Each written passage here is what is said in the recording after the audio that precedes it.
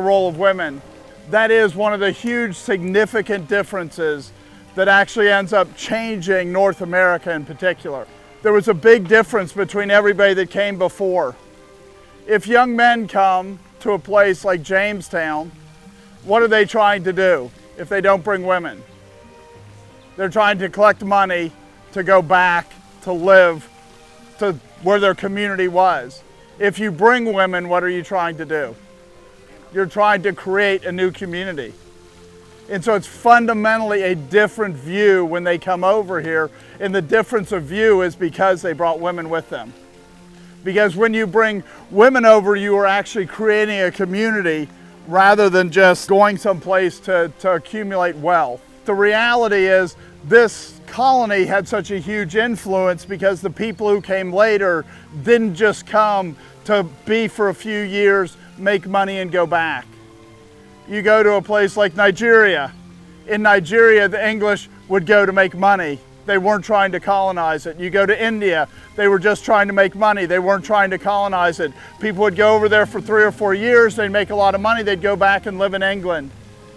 In this colony, by coming over here, America becomes a very different colony than the other places in the world that England colonizes and France and other nations.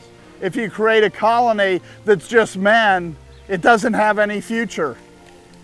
And so the, you know, the, even the equal rights movement now where they're saying that men and women are the same. No, men and women will never be the same because women can give birth. And so women inherently are associated with community, with continuity, while men are not.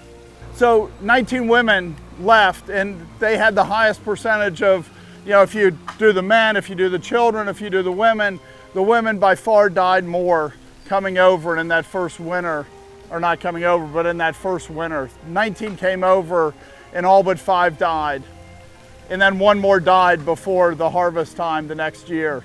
So by a year after they landed, there were only four women that originally came over.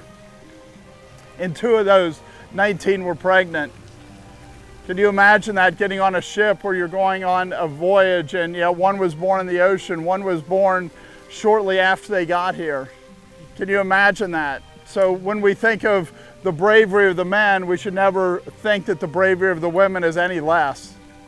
The faith that it required to leave Leiden for the men was no different than the faith that was required for the women to leave Leiden because they were risking everything, just like the men were if you look at these families, a lot of them are mixed families. You have William Bruce, or excuse me, William Bradford and his wife. They have to leave their son back. They don't think he can make the voyage. You look at Brewster. Brewster's bringing two children from other families. So even though there's only seven children under the age of 13, some of them are traveling without their parents to come over here. Think about how much they were risking. Think about how much they were saying that they wanted to build a community here and what they were willing to sacrifice to do it. It's pretty remarkable. When the Bible says, Seek first the kingdom of God and his righteousness, and all these other things will be added unto you, they're saying this is the best thing for God's kingdom. So they're willing to send their children, they're willing to leave their children back, they're willing to to leave their wives in some cases. I mean, there's all kinds of conditions because of health, because of other reasons. And they don't know when they'll be joined back together. And they're willing to do it because they say it's important, it matters. And we live in a, a nation, in an age where everybody's saying nothing really matters. And think about what they accomplish compared to what we accomplish as a people. Christians have to say things matter. They have to. That's how the world changes. And not by having 20 million people say that things matter. 50, 56 after the first year. They said things matter and the world changes. And just when we think about the women and the, the men that came over, the estimate is they have 35 million descendants across the world. About 10 million of them are still living in America after 400 years. And you think of Rebecca leaving where, where she's, you'll be the mother of thousands of ten thousands.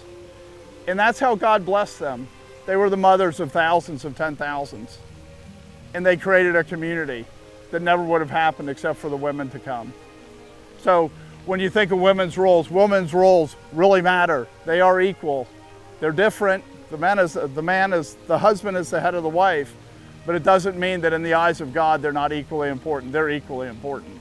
That's how you have community. That's how you have continuity. That's how you train the next generation. That's how you change the world. Thanks for watching. If you enjoyed this video, please subscribe and share it with your friends. You can also visit www.discerninghistory.com for more videos and other resources.